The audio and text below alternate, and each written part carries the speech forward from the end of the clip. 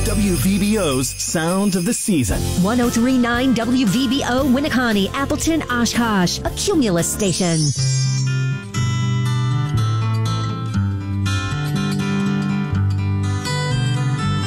Snowy nights and Christmas lights. Icy window pane make me